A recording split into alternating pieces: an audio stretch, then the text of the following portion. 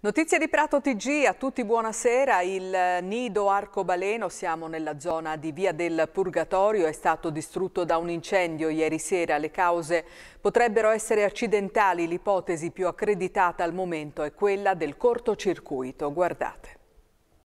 È rimasto poco dell'asilo nido arcobaleno devastato ieri sera da un incendio che si è portato via gran parte degli impianti, degli arredi e dei giochi, lasciando pareti e soffitti anneriti e un fortissimo odore acre che si è spinto fuori per qualche centinaia di metri. L'inferno in via Arcobaleno, traversa di via del Purgatorio, è scoppiato alle 20.30 quando gli abitanti del palazzo di fronte all'asilo, che confina con le scuole Collodi, hanno segnalato fumo e fiamme. Le squadre dei vigili del fuoco provenienti anche dal distaccamento di Montemurlo sono sono arrivate in pochissimo tempo. Rapido lo spegnimento, ma del nido arcobaleno è stato salvato ben poco. La struttura, subito dichiarata inagibile, resterà chiusa per molto tempo. I primi accertamenti dei vigili del fuoco parlano di cause accidentali. Il sostituto procuratore Giampaolo Mocetti ha aperto un'inchiesta e al momento l'ipotesi più accreditata è quella del cortocircuito. L'esterno dell'edificio è rimasto intatto, merito del cappotto termico sistemato recentemente sulle pareti esterne della struttura che sono state rivestite con elementi isolanti, un investimento in campo energetico, questo fatto recentemente dal Comune. Abbiamo iniziato da ieri sera tutta l'analisi sia per scongiurare la natura dolosa e sia per verificare se la causa è attribuibile ad altri elementi quali impianti che potrebbero essere stati una possibile fonte di innesca, parlo prevalentemente di impianti elettrici. Eh, riteniamo opportuno per effettuare un'analisi accurata dei luoghi ed evitare ogni alterazione, effettuare un sequestro dell'immobile in modo tale che ci garantisca di preservare tutte le condizioni.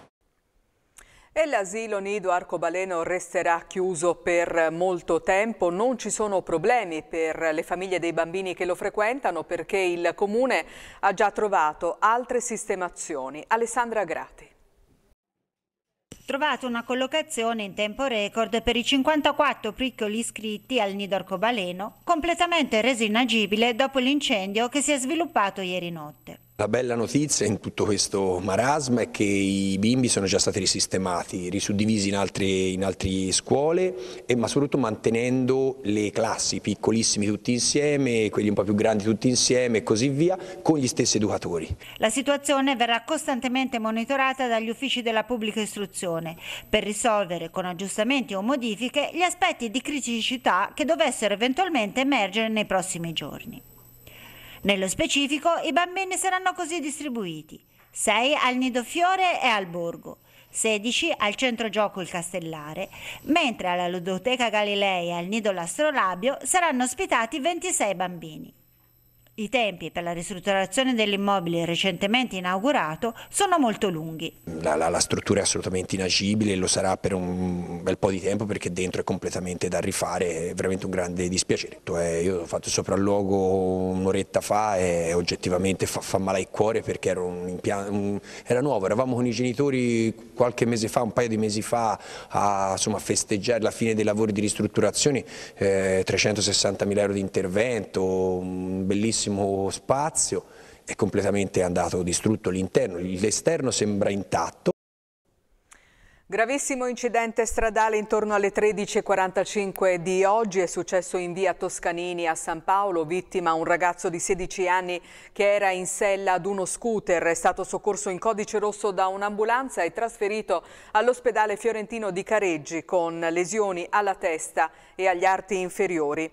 Il ragazzo stava procedendo in direzione di via Galcianesi e quando si è scontrato con un'auto sarà la polizia municipale intervenuta con le pattuglie dell'ufficio sinistri a ricostruire la dinamica dello scontro. L'auto era condotta da un ventunenne, anche lui ha avuto bisogno di ricorrere alle cure dei sanitari ed è stato portato al pronto soccorso dell'ospedale di Prato. È terminata alle 18 di oggi l'allerta arancione per vento forte emessa dalla regione toscana. Fin da stanotte raffiche di Grecale fino a 70-80 km orari hanno sferzato Prato e la provincia. Danni segnalati in particolare ai campi dello Sporting a Mezzana dove è stata divelta la, tecno, la tensostruttura che ha rischiato di finire sulla declassata. Fino alle 19 è stata attiva l'ordinanza del comune che vietava l'accesso a cimiteri, giardini pubblici pubblici e impianti sportivi all'aperto o in tenso struttura. Numerosi gli interventi dei Vigili del Fuoco per la rimozione di rami caduti o di oggetti pericolanti. Intanto c'è stato anche il risveglio con la neve per gli abitanti di Montepiano. Una spolverata ha imbiancato i tetti ma anche l'area del lago Fiorenzo e le strade senza nessun problema però per la circolazione. La cronaca, di nuovo la cronaca, sottoposto all'obbligo di firma, si è presentato in questura ma è stato arrestato. Sentite perché. Lo hanno visto cedere cocaina a una donna, hanno perquisito la casa nella quale vive e hanno trovato e sequestrato più di 3 kg di hashish e quando lui, un marocchino di 36 anni, si è presentato in questura perché sottoposto all'obbligo di firma, lo hanno arrestato. L'uomo, già finito in manette la settimana scorsa per la detenzione di 5 grammi di cocaina ma subito scarcerato e messo all'obbligo di firma, è finito di nuovo nei guai ieri. Gli agenti della sezione antidroga della questura hanno rinvenuto nella stanza di un appartamento in via San Paolo Paolo preso in affitto da un pratese di 80 anni 3 kg e 360 grammi di hashish, mentre 110 grammi di cocaina confezionata in ovuli sono stati sequestrati alla donna, una rumena di 29 anni che li aveva appena ricevuti dal marocchino, marocchino che indisturbato aveva continuato a spacciare droga nonostante il primo arresto. I poliziotti però lo hanno sempre tenuto sotto controllo e così ieri, quando lui tranquillo alle 19 in punto si è presentato a firmare, ignaro del ritrovamento dello stupefacente presente nella sua stanza è stato portato dritto in carcere. Furto ai danni del Gramsci Caenza al polo scolastico di Via Reggiana con i ladri che hanno sfondato le finestre per poi portare via sette computer in uso alla scuola. È successo nella notte tra domenica e lunedì, i danni sono ingenti, una prima stima è di circa 10.000 euro tra il valore del materiale trafugato e i danni inferti agli, agli, infissi. I ladri hanno utilizzato un tombino per mandare in frantumi tre vetrate sul lato che dà sulla declassata una volta all'interno, poi hanno agito a colpo sicuro riuscendo anche a non far scattare l'allarme muovendosi dove non sono presenti i sensori. Le indagini sono della polizia che ha effettuato un sopralluogo all'interno della scuola.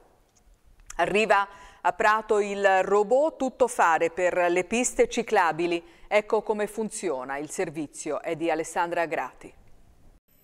Presentato il nuovo robot che da giugno pattuglierà il tratto lungo fiume di via Firenze.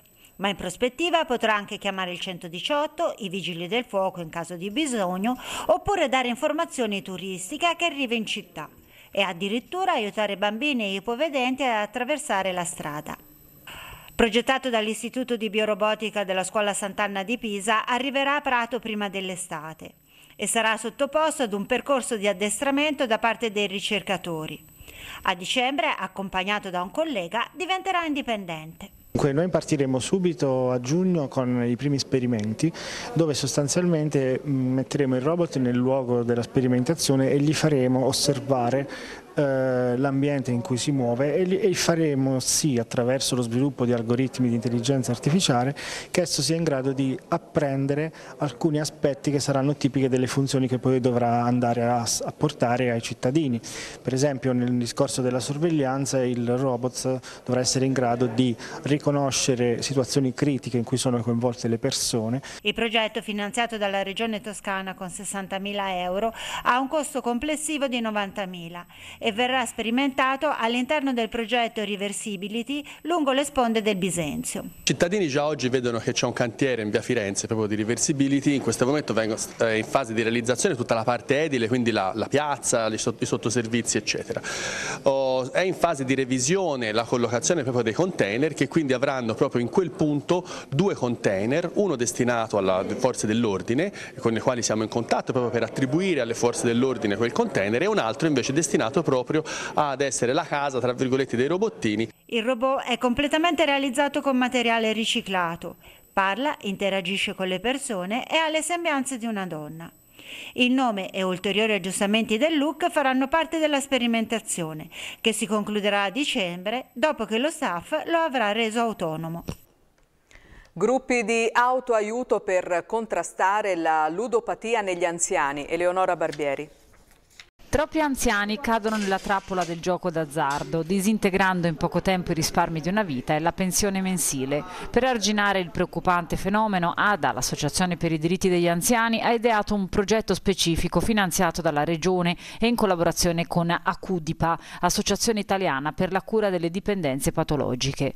L'idea è quella di creare gruppi di aiuto, di consulenza e guida motivazionale costituendo sportelli gestiti da volontari formati per contrastare il fenomeno della ludopatia ludopatia negli anziani. La prima provincia dove l'associazione ADA ha iniziato questo percorso è Prato. Formiamo anziani per aiutare altri anziani che hanno però problematiche di ludopatia. Qualsiasi tipo di dipendenza fa male, sia fisicamente sia psicologicamente. Il progetto si propone inoltre anche la messa a punto di modelli di intervento tali da poter essere trasferiti e utilizzati in altri contesti territoriali. Le ADA potranno divenire centro propulsore anche di altre associazioni che vogliano attivare una rete operativa nel campo del gioco d'azzardo patologico. Le tre fasi avranno la durata di nove mesi e verranno effettuate nelle province di Prato, Firenze, Pistoia, Massa Carrara, Siena, Arezzo, Pisa e Livorno. Il gioco, come ogni forma di dipendenza, è, molto, una patologia molto stigmatizzante, quindi eh, le persone stanno lontane dai servizi dove ci sono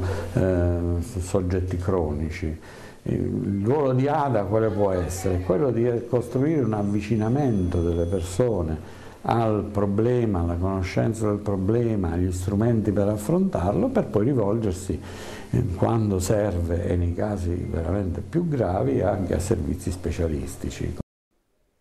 Ed era questo il nostro ultimo servizio, non ci sono altre notizie, io mi fermo qui, grazie a tutti per averci seguito, arrivederci.